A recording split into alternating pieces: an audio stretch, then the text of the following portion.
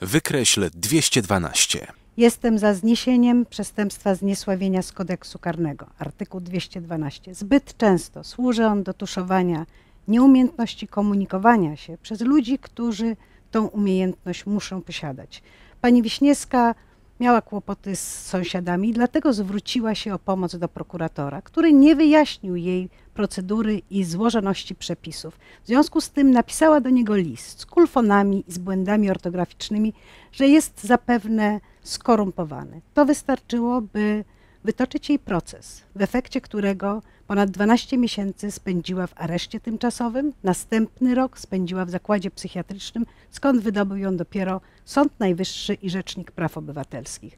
Nie stać nas na produkowanie przestępców, a prokuratorzy powinni umieć wyjaśniać procedurę. Dlatego też jestem za zniesieniem przestępstwa zniesławienia z kodeksu karnego.